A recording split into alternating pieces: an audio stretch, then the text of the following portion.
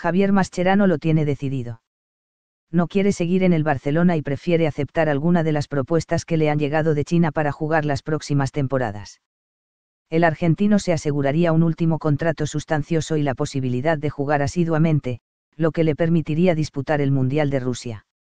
Así se lo ha hecho saber al club azulgrana, que se encuentra en una disyuntiva, ya que Valverde tiene un déficit en la defensa tras la lesión de Samuel Umtiti, que estará dos meses de baja por una rotura muscular.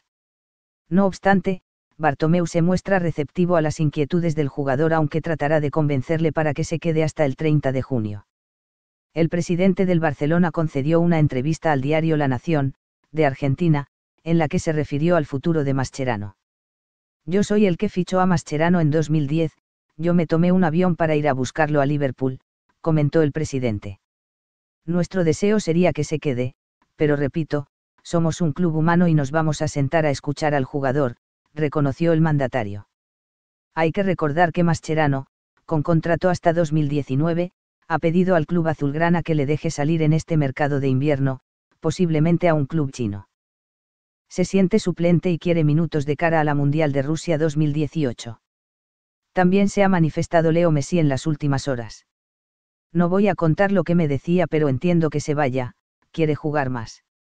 A más lo entiendo, lo más lindo es jugar y disfrutar de los partidos, y él ve que acá no tiene minutos, explicó en TYC Sports.